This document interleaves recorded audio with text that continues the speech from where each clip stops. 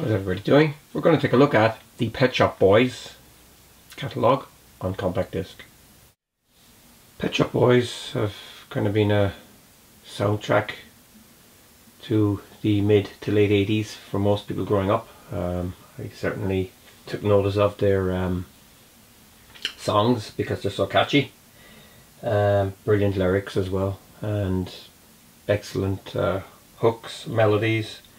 Um, yeah, uh, you know, I, I, kind of really only started buying this stuff in around 2002, and this is the first album from 1986. It's Pet Shop Boys Please.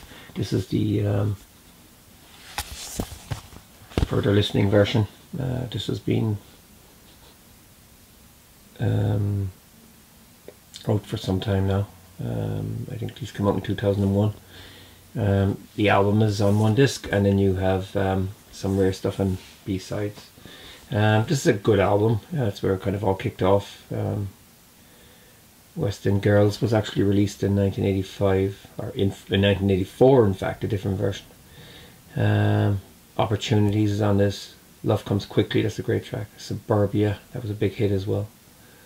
Um, so yeah, and uh, B-sides are usually remixes. Um, Paninaro was on this. That was a track on the uh, disco album. I don't have any of the disco albums on CD. Um, I do have them all on vinyl as far as I know. Um, again, they're just extended versions. Um, but yeah, this album is where it all kind of started off. Um, and with these sets it's just a double CD all pretty uh, standard. But this is where the uh, food and drink is. The booklet some great photographs and you get the lyrics and there's interviews as well. And Neil Tennant is actually very intelligent and very funny. And Chris Lowe uh, the keyboard player is a little less forthcoming. Um, but yeah, I mean, they're the kind of band or duo that you either like or hate. It's always, if you mention Pet Shop Boys, ah, people, I don't like his voice. Uh, but if you like 80s pop and I mean 90s, in the last, they've been around now for 35 years. Um, still making hits and uh, certainly worth investigation.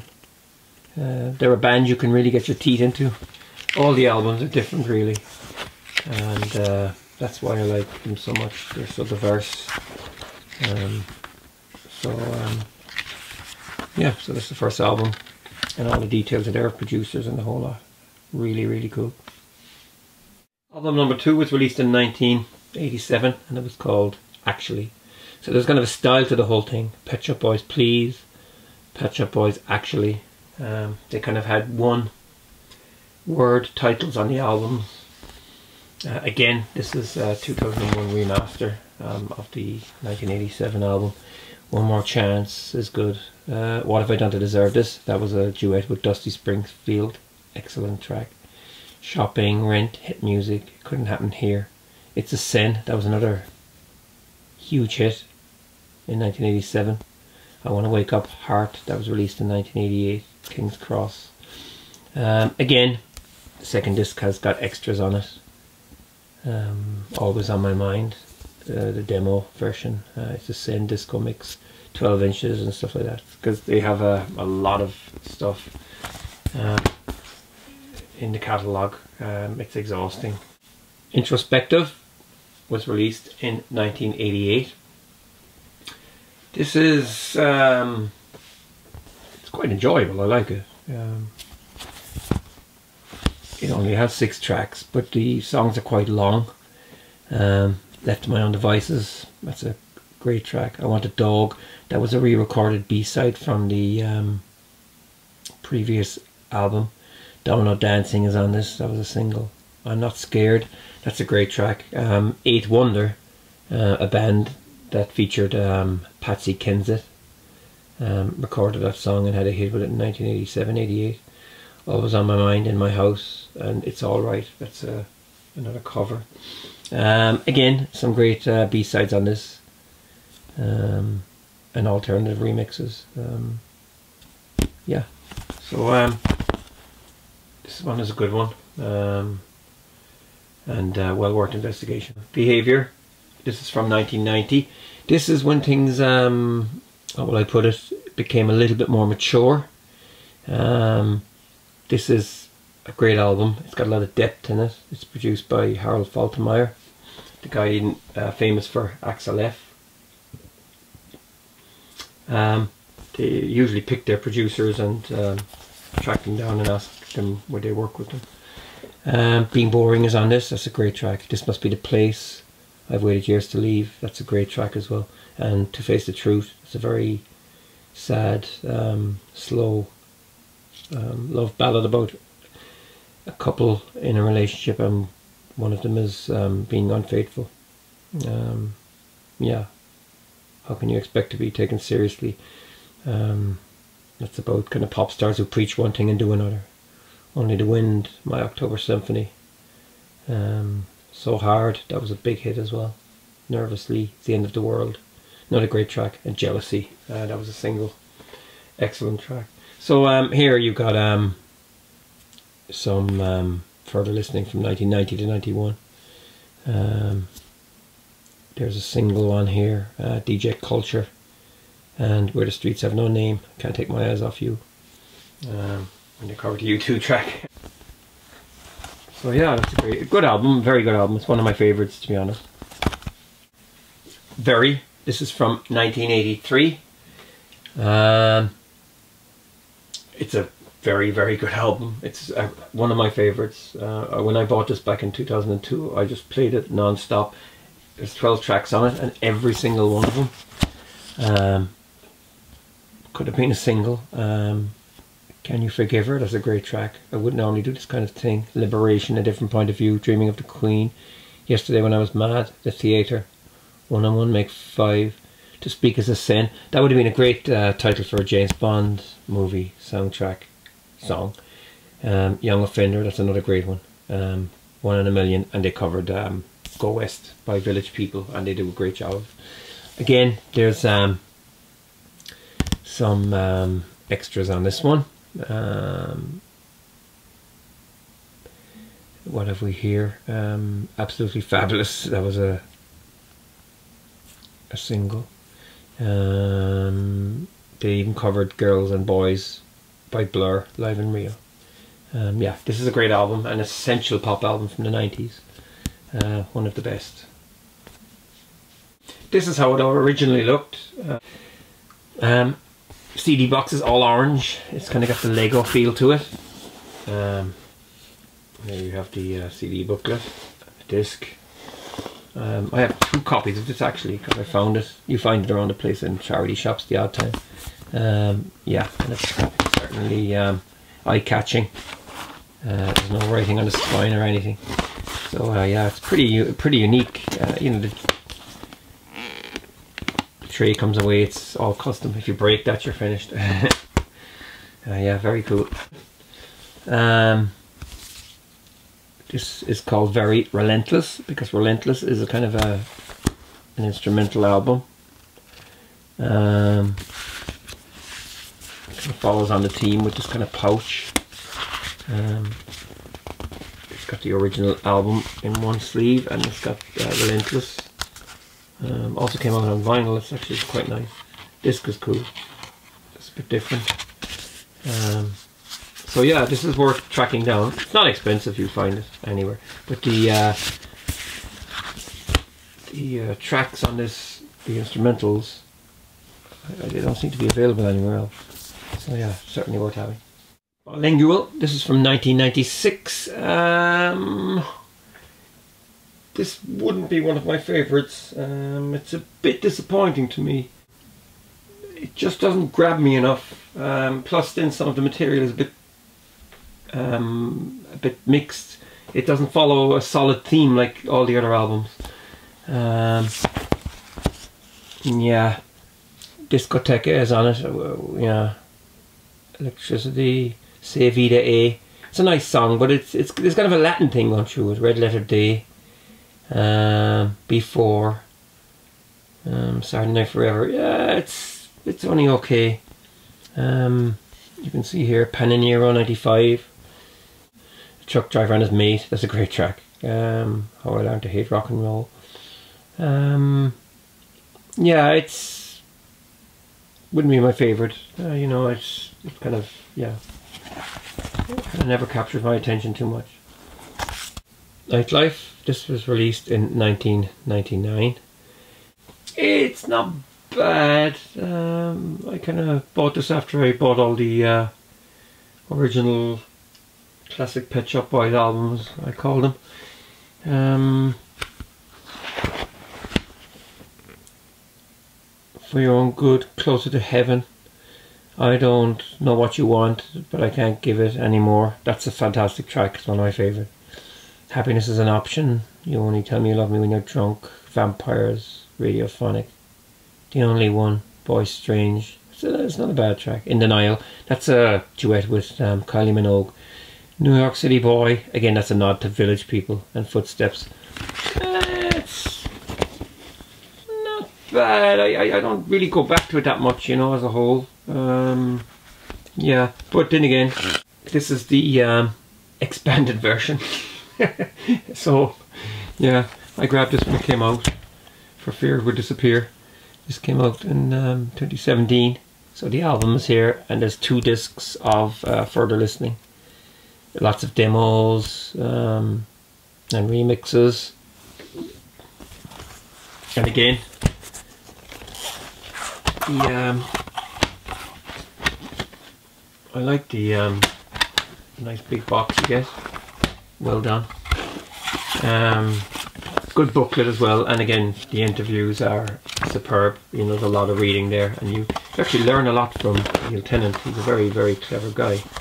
Um, I love, um, I love reading about him, uh, the things he talks about, uh, because he's quite um, very astute, and um, you know, you, yeah, their influences are incredible. You know the the things that they um, come up with um, um, and who they actually like it would be very very surprising.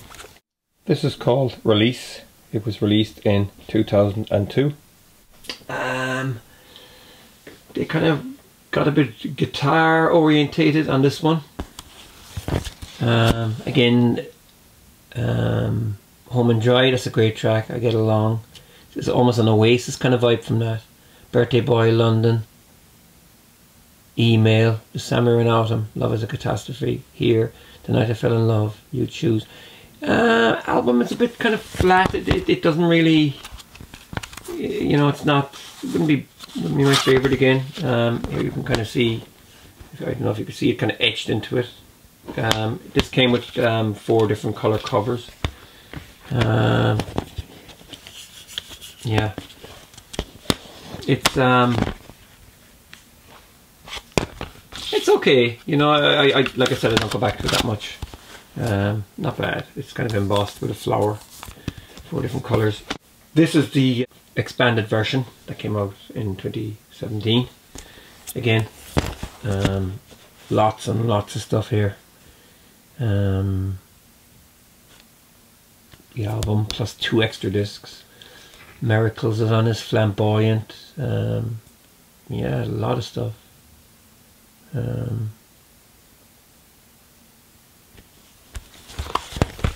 and uh, again, you know, the booklet.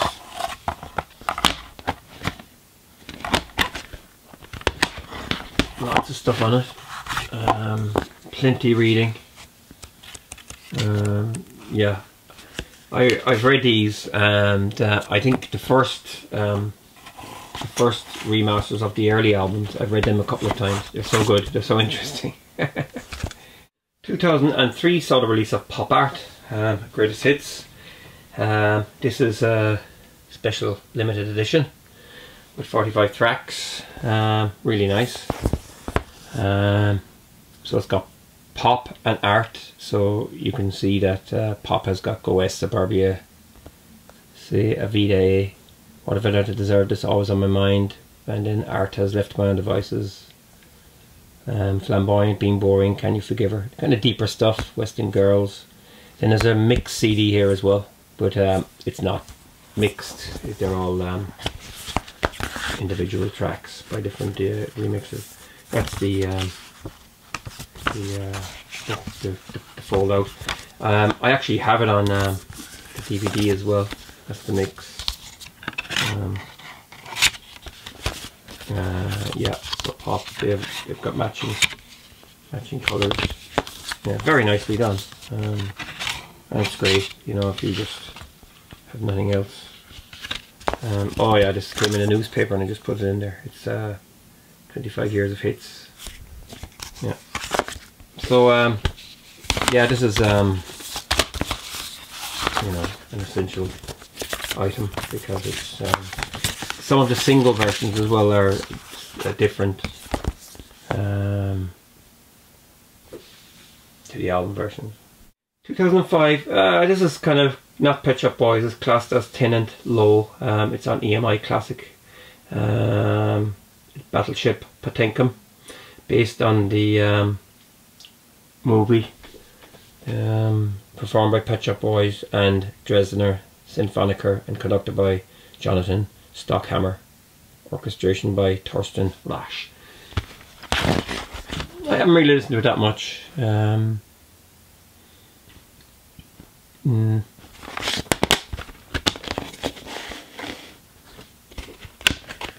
There you go. Based on a movie, I think um, Soviet, the Russian Navy, going way back. Fundamental. Uh, this was released in 2006 uh, and produced by one of my favourite producers, um, Trevor Horn. Um, it's a good album, um, nice production as well. Um, this is a special limited edition. Includes um, 8 track bonus. Um, there you go. Um, Psychological is good. Sodom and Gomorrah show, that's fantastic. Some slow songs in as well. Uh, Numb, I made my excuses and left. God willing. Luna Park is quite good, I like that one. I'm with Stupid. Mm. Casanova in Hell is a great track. Um, yeah. And then you got uh, the extras. Again, um, black box, custom made, different color discs. Um,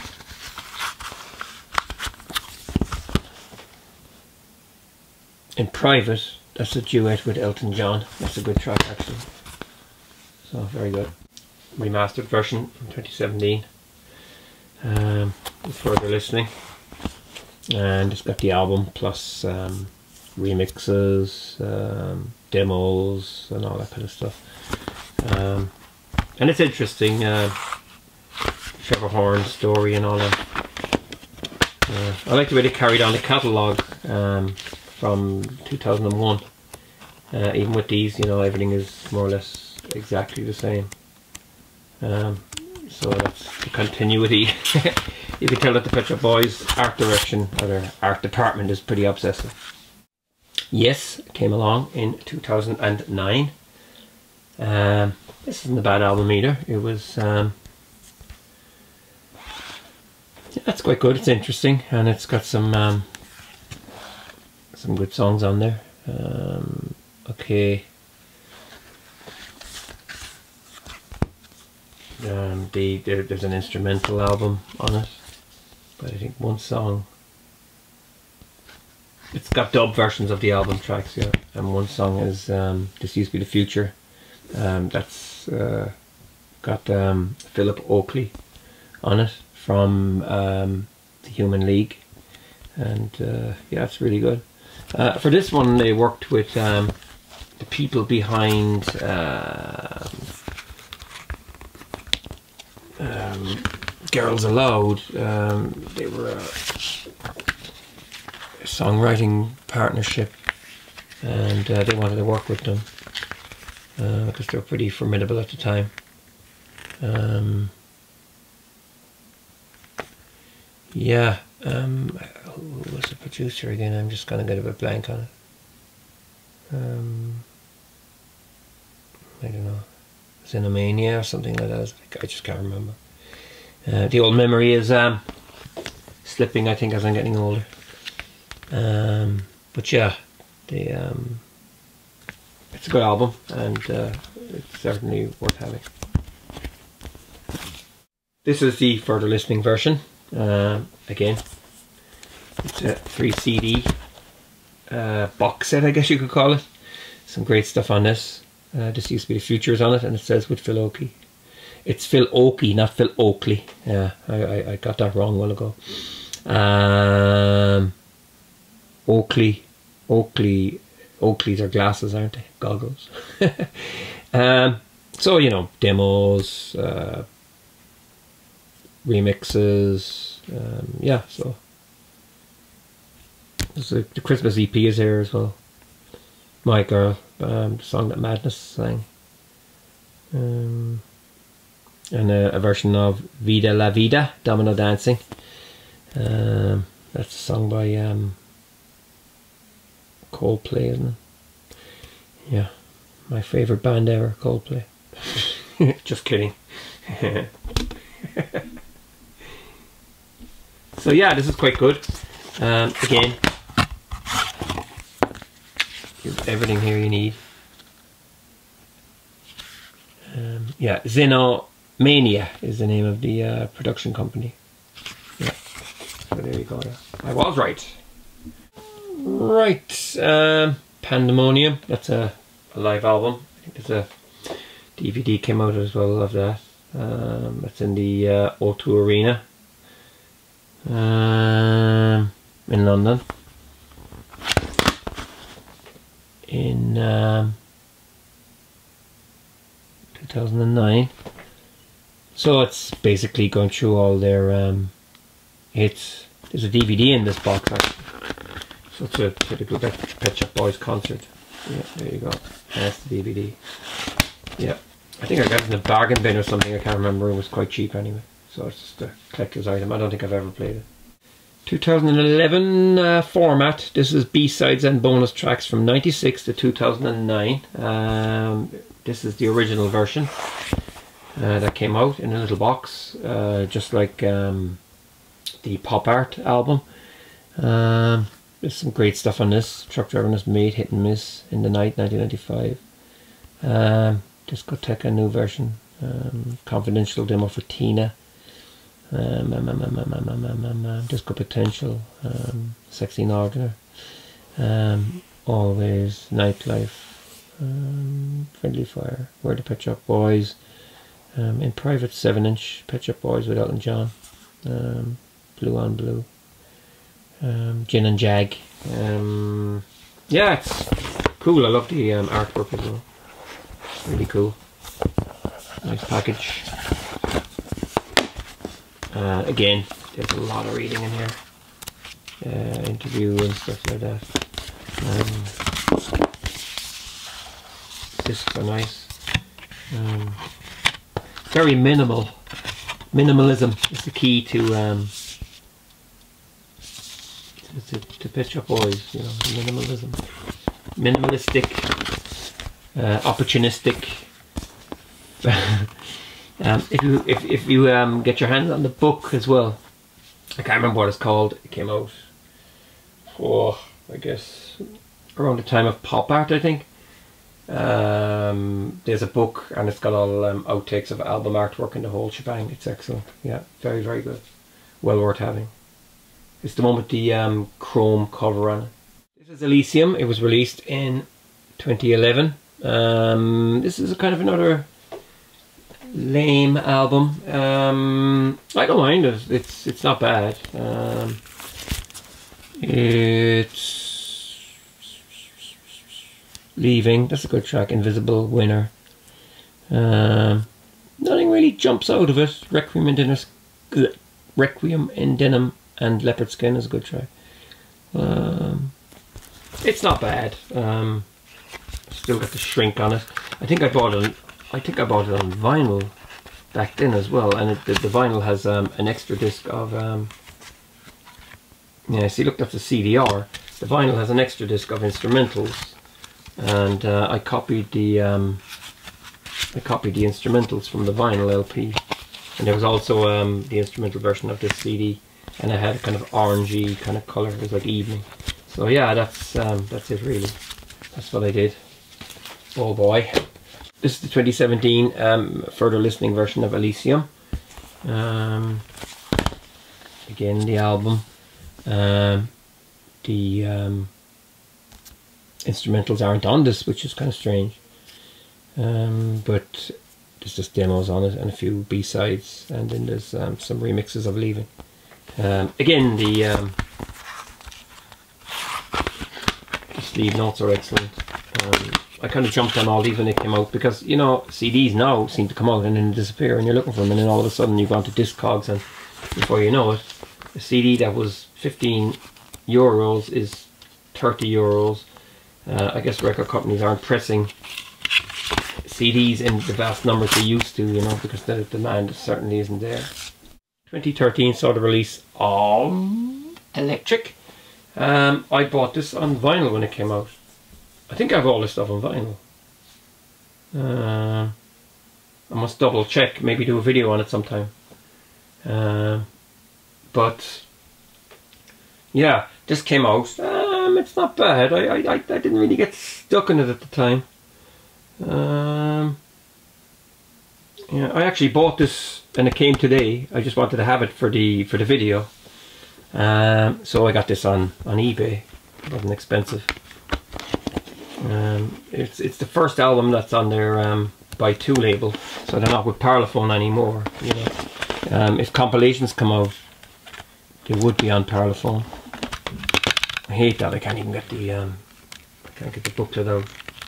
Ah, I can't be bothered. Um, this isn't bad, you know. It's produced by uh, Stuart Price, the guy who um, did Madonna and The Killers.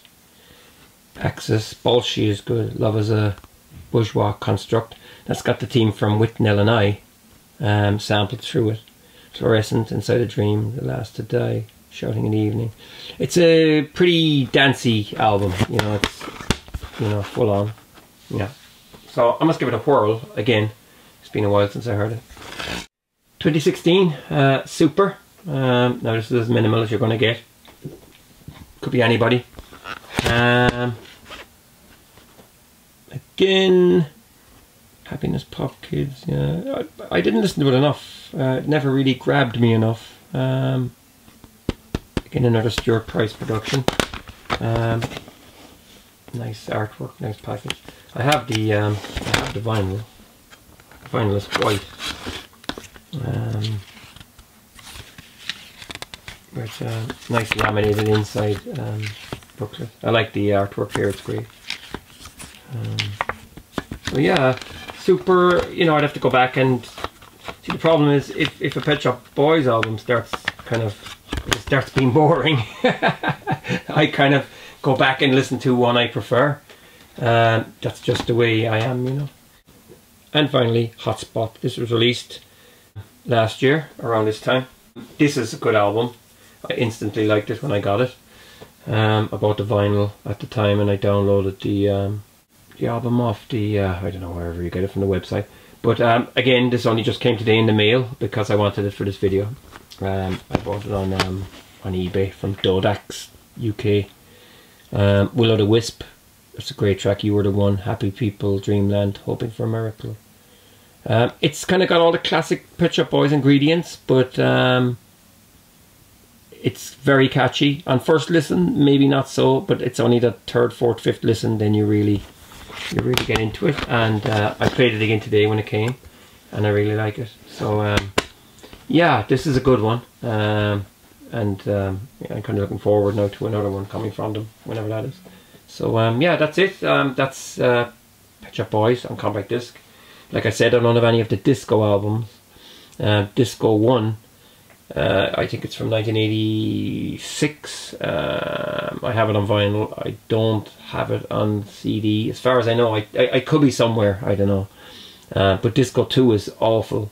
It's from um, 1994 and the whole album is is mixed and segued into um, all the tracks are segued and it's all stuff like um, oh, Rollo, Sister Bliss, and all that kind of stuff. Like you know, stuff that I actually don't like. It's kind of you know, I like when the Shop Boys remix their stuff and they got other people to remix them, uh, like Shep Pettibone and um, people like that.